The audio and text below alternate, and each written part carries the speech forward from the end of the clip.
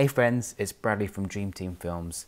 Just a quick review today. I want to talk about the editor keyboard from DaVinci Resolve uh, from a wedding filmmaker's perspective. If you're considering buying this as a wedding filmmaker, there are a few things you need to know and I'm just going to talk about those today. Now the best feature about this keyboard is this jog wheel which does allow us to smoothly go through the video and basically this is probably more or less the only feature that I use about this keyboard that makes it any different from any other keyboard.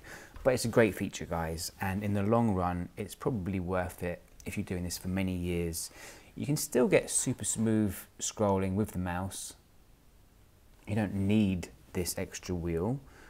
Um, but it does help if you're editing all day long it does sort of allow you to break up your wrist movements on the mouse to stop that repetitive strain injury and to be a little bit more fine in your details when you're using this compared to using the mouse. Just a little bit guys. You can still do pretty much exactly the same thing with a mouse but it's useful. It does have some nice labeling and coloring of keys on the keypad but we're going to be changing a lot of those round anyway especially on this side as wedding filmmakers, so it's not super useful because a lot of these will change round. And a lot of these extra buttons are not necessary for wedding filmmaking. They're more suited for different types of projects like documentaries and feature films. So we don't really need these extra buttons either. So in the end, as wedding filmmakers, we're only really looking at this jog wheel. So it's hard for me to recommend this keyboard specifically for wedding filmmakers unless you're really set on doing this for many years where this can come in useful.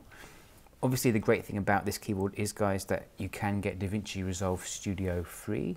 If you're looking to get DaVinci Resolve Studio free, I would recommend checking out the micro panel because that's going to be a lot more useful. I'm going to make a separate video about that. Guys, if you're interested in learning DaVinci Resolve specifically for editing wedding films, please check out my course Resolve Weddings. It cuts out all of the other stuff that's not related to weddings, so it's the fastest way of learning DaVinci Resolve specifically for wedding filmmakers. Thanks for watching guys. See you in the micro panel review in a minute.